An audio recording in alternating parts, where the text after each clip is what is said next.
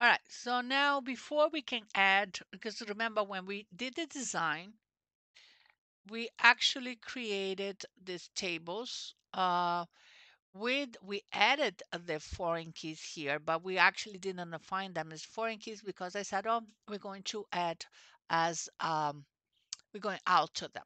All right, so before you can alter anything, you actually have to give primary keys to each table because without primary keys, you cannot really add any foreign key.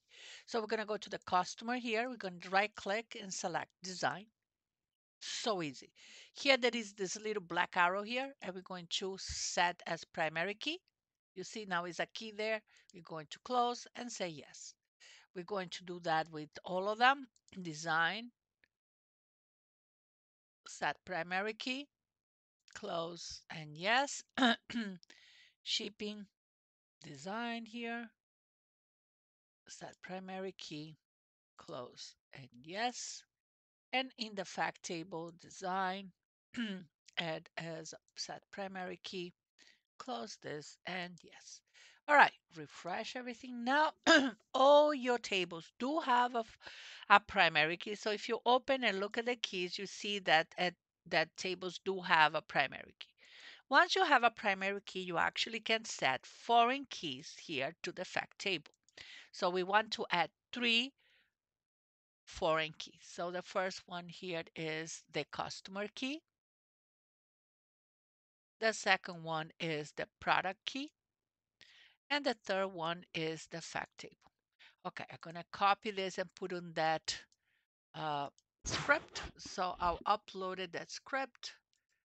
I'll, I'll organize in different files. So right now I just put it in one and then I'll upload it everything with the correct names. All right. So now that I have done the foreign keys, let's go refresh. All of the tables had a foreign key. The last thing I need to do is add a diagram. So I'm going to right click, new database diagram, say yes.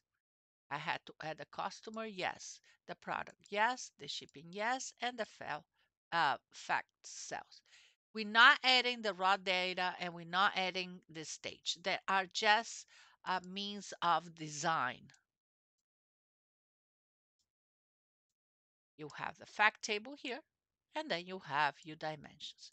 As you can see, this is, is a star schema. So let's go, when you close it, you must change it and you're gonna have one diagram. So you're gonna have the fact sales and the fact sales will allow you to uh, aggregate a quantity to say how, how much quantity, uh, the profit, how much profit, uh, um, how much sells and then how much sells for each customer for the product and look at shipping. All right, so this will be the final part of the integration process. Okay, so you close here and then yes, uh, you had to change this for yes. And the diagram is going to be cells diagram. So that will be my first, in this case, only one diagram, but you could have added more if you divided the facts, fact table. So that's the end of the integration.